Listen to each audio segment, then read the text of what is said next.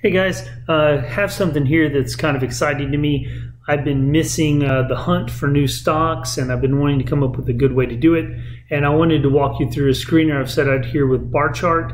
Um, and uh, what I've done is basically this, this is a save screener called oversold that I made. And I'm just simply looking for stocks that are under 30% uh, uh, RSI, uh, meaning that they would be oversold. Uh, and then what I do is I then come here and I get my results.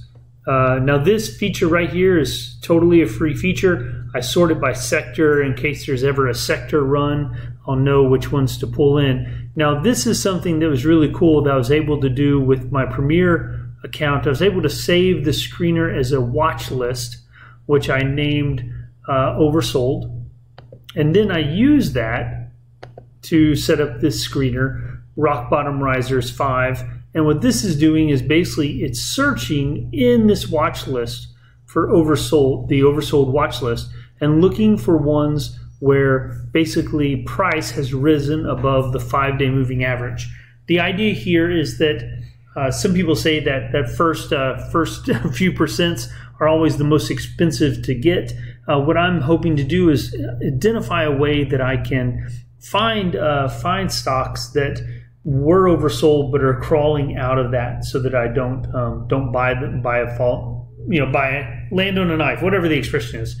Um, and so anyway so uh, so I did this and surprisingly even my first day there's already one um, CVW um, sorry CVM um, which I did a little bit of research. It turns out this is a uh, a drug company that made um, made some medicine for cancer and people were not satisfied with the results. Um, although there was an improvement over the uh, the the net cancer, uh, they weren't satisfied with the results, and sentiment forced it down. So so this was interesting, and then uh, and so you can see here the last price was 848, five day moving average 837, and it's green, which means my price is above it but it's not above the 20 day moving average. Obviously, to go from 848 to 1724 would be quite amazing.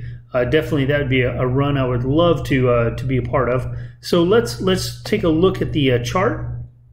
And so this is the uh, the daily chart for the last month, and you can see that um, the you know they've basically shown this massive red candle um, that went from 2575 down to 923 and then it edged its way down further until it hit a bottom at 723 and now seems to be moving up. We have some green candles here and this black line right there is a new line that I've just added. Uh, that is my five day moving average. And so, um, so we have a buy signal on this. And now I've set up another screener as well uh, that I'll use with this um, this watch list. Every day I'll add the oversold uh, stocks to my watch list, so any duplicates would would not be there, not appear, and then any uh, any new oversold would just add, and then I can run the screener on a nearly daily basis, and so um, yeah, and so it looks like um, CVM may have found its bottom, pulled a, uh, a one day reversal, um, and is now climbing up, and it'll be exciting to see if it does move past that five day simple moving average, and I might take a position. Thanks.